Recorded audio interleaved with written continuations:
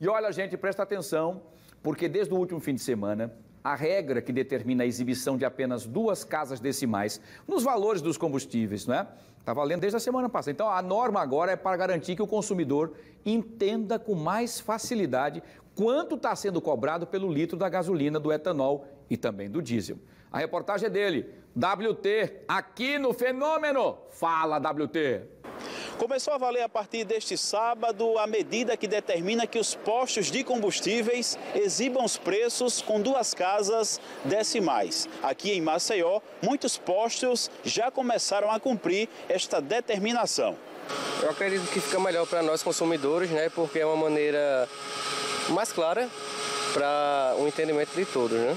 Para mim é uma novidade, é uma informação nova essa aí. É, no final das contas pesa no bolso, né? Qualquer casinha decimal vai acaba pesando. Fica mais específico para a gente, porque com aqueles, aqueles decimalzinhos, aqueles, né? Aí não aí enrolava a gente e agora não, agora ficou melhor. Os postos que não cumprirem esta medida podem ser denunciados, segundo informou o presidente do Procon Maceió.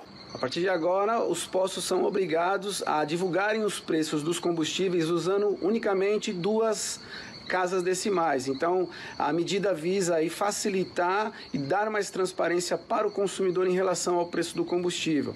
Então, é, todo consumidor que identificar a partir desse dia 7 que o posto ainda não está obedecendo essa, essa legislação, ele deve denunciar para o PROCON através dos nossos canais de atendimento. Nossa equipe vai notificar o posto a ajustar de acordo com a resolução prevista pela Agência Nacional de Petróleo. O canal de comunicação e denúncia para o consumidor é o nosso WhatsApp 988828326. Do Farol, William Chavares. Muito bem, WT, importantíssimo. Isso que estava acontecendo, segundo informações da própria ANP. Em alguns postos, como eram três dígitos, por exemplo, agora está cinco, vamos lá, um exemplo aqui, 7,99.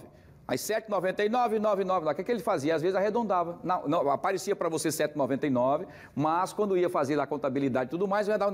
Ah, isso, mas é um centavo, dois centavos. Faça a conta por dia, quanto é que seria isso? E quanto você vai abastecendo sempre no final do mês, também tem uma economia. Pequeno ou não, qualquer economia é importante. Por isso, visualmente é importante. Tanto é que os postos pediram que não fizesse uma mudança na, na própria bomba, porque seria uma mudança muito grande, gastaria dinheiro e tudo mais. Então, o último númerozinho vai ficar na bomba lá, mas ele tem que ficar travado. Zero travado. Ele não pode se movimentar. Se você perceber que na bomba ele está se movimentando, você para aí.